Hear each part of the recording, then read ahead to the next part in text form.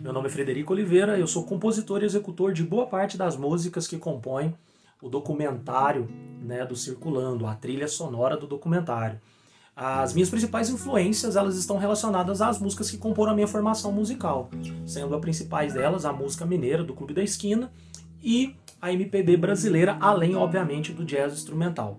Especificamente para esse trabalho, eu fiz um trabalho de pesquisa de compositores que faziam camadas sonoras, que trabalhavam com a sensibilidade da, das notas e tudo mais. E aqueles que ficaram assim, mais evidentes na minha pesquisa foram Ian Tiersen, o Ludovico Einaid e o Olaf Arnolds. Além também de compor, eu também escrevo. Então, pensando em projetos futuros, é claro, eu não quero deixar de, de tocar, de, de, produzir camadas sonoras, musicais, trilhas, quem sabe, mas também continuar escrevendo e quem sabe, né, juntar todo esse trabalho num único trabalho ou continuar confluindo, né, transformando, levando os trabalhos a outras dimensões.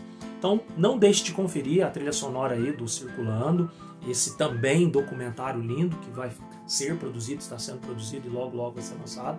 E escutem aí nas plataformas musicais. Tenho certeza que vai ser muito legal, muito bacana vocês conferirem. Grande abraço.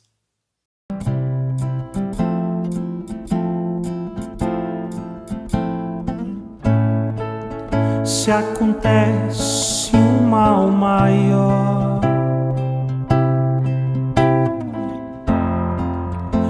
empresta um sorriso seu pra ser feliz, pra ser feliz, pra ser feliz.